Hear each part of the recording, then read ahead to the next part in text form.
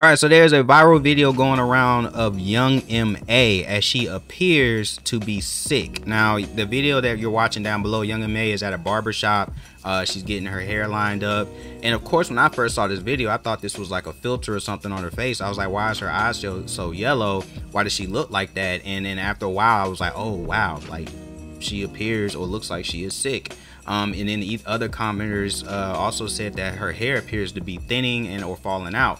Now, of course, after the haircut, um, she does appear to look better um, after the haircut. So I don't, I still, we still really don't know if she actually was sick or if she was just a case of her just needing a haircut. But if you, whatever's going on with her is clearly showing up in her eyes. Um, and so of course, we got people on the internet in the comment section thinking that they're doctors and saying that she might be suffering from liver failure. I don't know. I don't want to, you know, be sitting up here trying to diagnose what's wrong with her because I don't know. I'm not a doctor, but regardless, whatever she's going through, if she is going through anything, I hope that she uh, gets the help that she needs. Of course, everybody should send her prayers because, of course, we already know Young MA is not a person that likes to be in the spotlight like that. So whatever she's dealing with, she's dealt with it privately.